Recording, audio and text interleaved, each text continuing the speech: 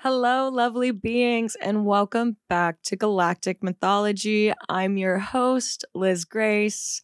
Today, we're diving deep into the cosmic currents that have been swirling around us over the past couple of months.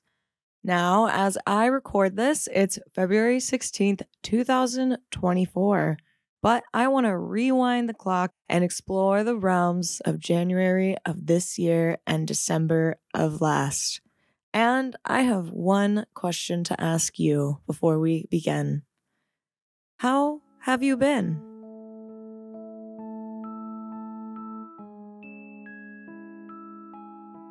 I've been hearing whispers through the etheric grapevine of our community, and it seems like many of us have been navigating through different shades of darkness. Whether it's a sudden shift in perspective, a life altering event, or the ending of a once cherished mm. connection, something profound has stirred within us. I'm speaking to a different version of you, am I not?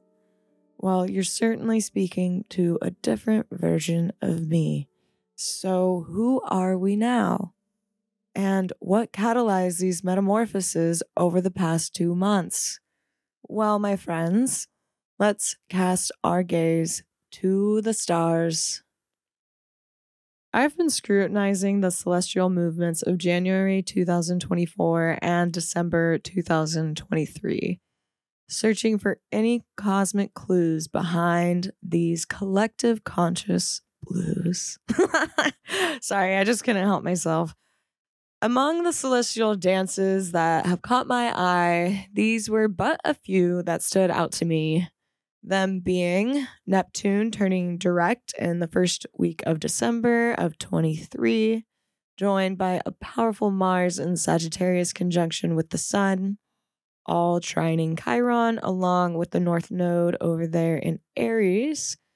And the dark mother goddess Eris made her presence known throughout the past months by conjuncting the North Node and opposing the South Node, gradually releasing her grip but never straying more than six degrees away throughout January. My celestial compass keeps pointing me back to the sign of Aries during these turbulent months and into today, February. Aries, the sign of new beginnings, resonates strongly with the energy of change. It's associated with our root chakra, primal instinct, without hesitation. We're in a state of fight or flight, stemming from the depths of our mammalian brain stems. There's an undeniable sense of fear permeating the air these days. And what I'm about to depict is a pretty daunting list, but it's worth acknowledging, especially for us working on creating our highest timelines. We are experiencing the effects of inflation, the specter of war, the looming threat of climate change, the turmoil of politics, both domestic and global, the threat of bills piling up, the pressures of social media, and the persistent feelings of inadequacy. We're all grappling with heightened levels of anxiety, perhaps manifesting as increased anger or frustration.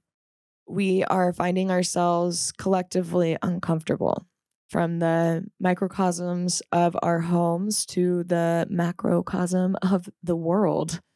Survival is the prevailing struggle here.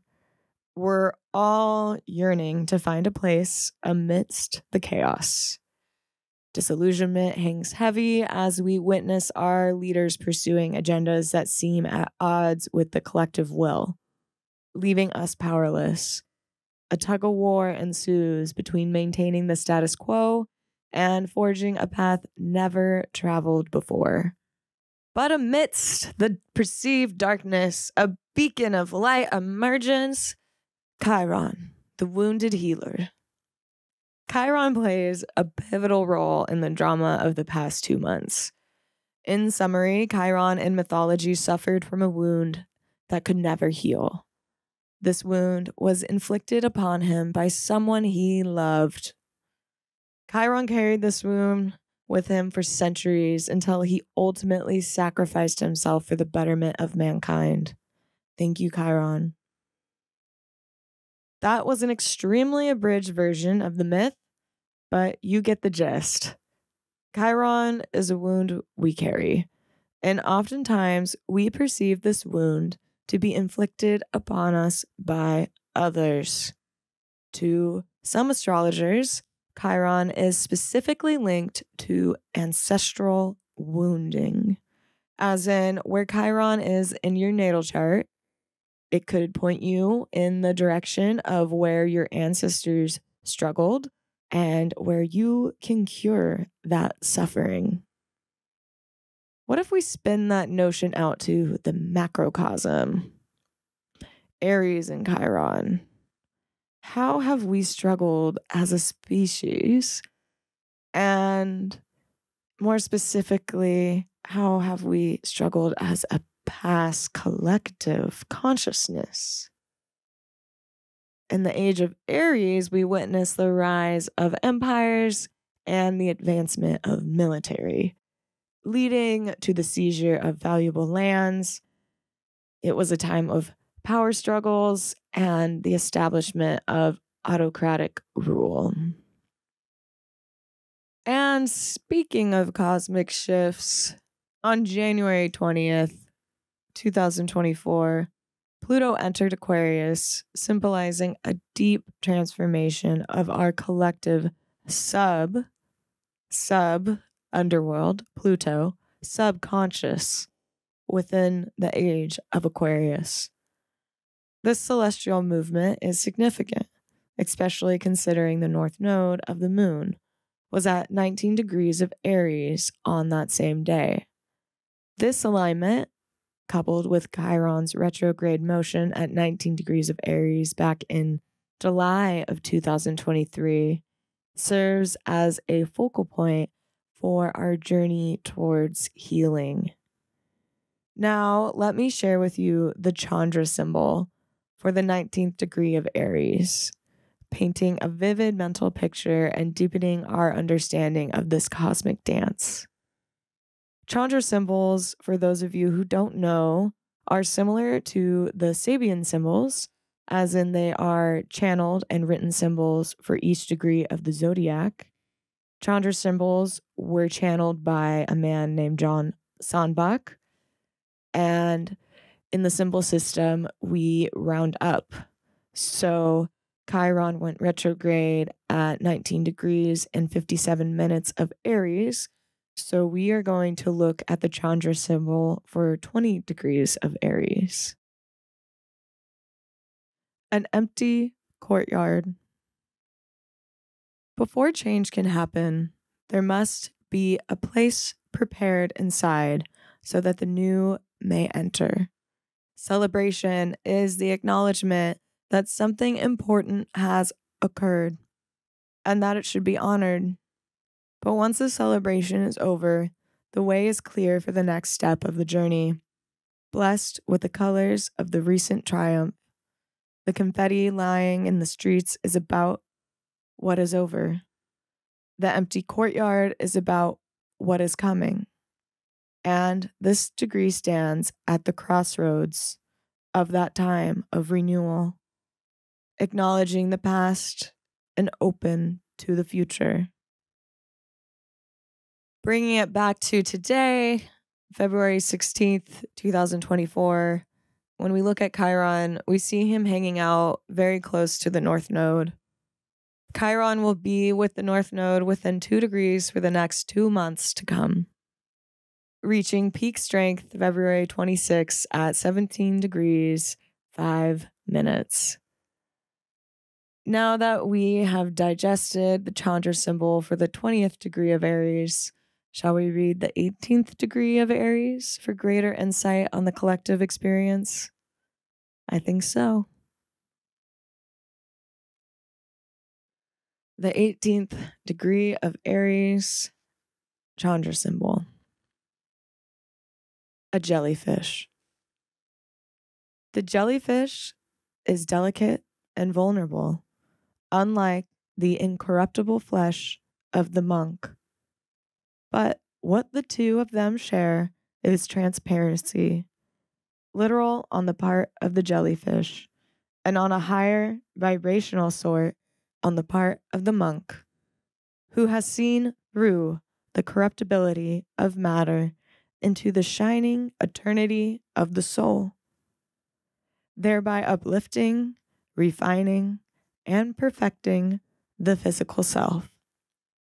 This is not to say that everyone who possesses this degree will completely achieve this in their current lifetime, but it is to say that this degree brings the awareness of this potential the ability to know deeply and intuitively that matter is an illusion. And this knowledge emanates a gentleness and lightness that brings peace to its surroundings.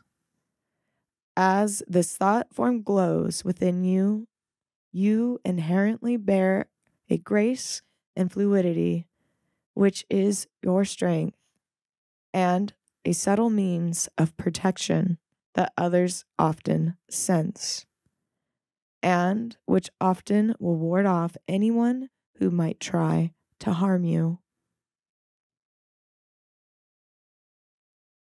Wow.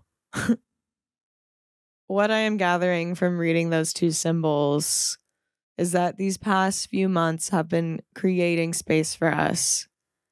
Thinking of the empty courtyard and the confetti. Just beautiful symbolism for the hope we all feel at the start of a new year.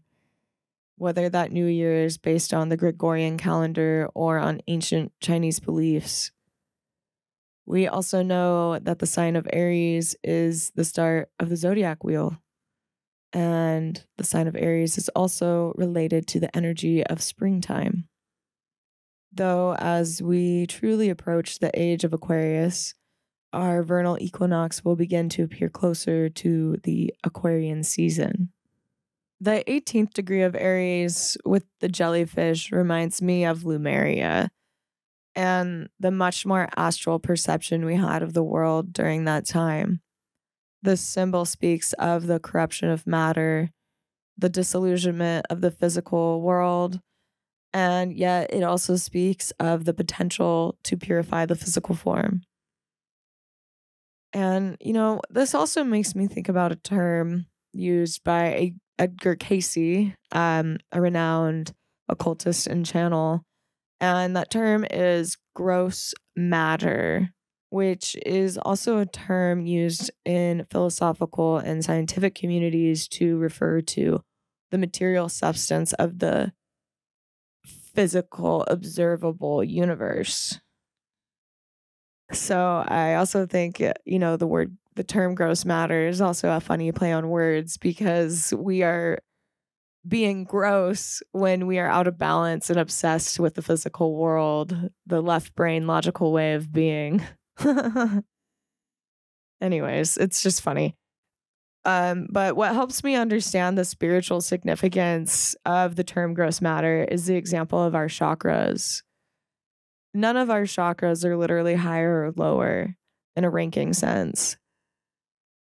The root is physically lower on our spinal column, but it is essential to the whole system. So if the root chakra becomes sick, the crown chakra will become sick. So we can see this very easily in flowers. So when the root system of a flower becomes diseased, the roots will, sorry, the flower will show a reflection of the disease stemming from the roots.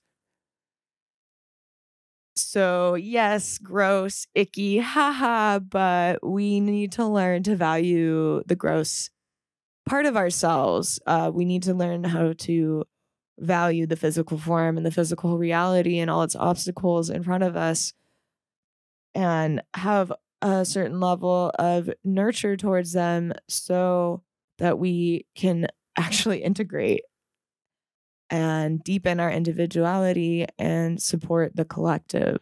I felt inspired to create this podcast, specifically this episode, in response to my local collective and community, as in my friends and my family, and even myself. I've been observing in all of us a little bit of a dark night of the soul.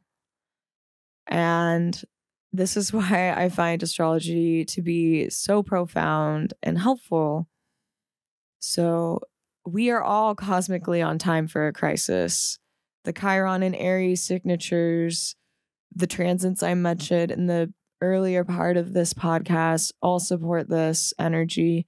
And since we can see it, we can witness and give ourselves a little bit of grace during these times.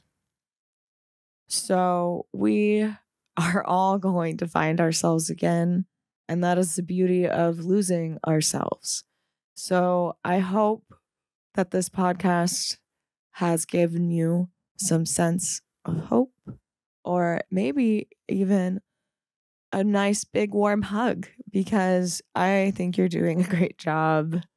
And if you are alive and conscious and watching this, then I would say that you are an individual that is willing to do the work to get to those higher dimensions, those higher realities. I would love for you to share your story with me if you feel inspired. And I hope that you join me on the next one. This is Galactic Mythology, and I am your host, Lizz Grace. I'm wishing you a beautiful future, and I hope you stay cosmic and I hope you stay conscious. Wishing you all the best. Like, comment, subscribe, share, show the algorithm that you care.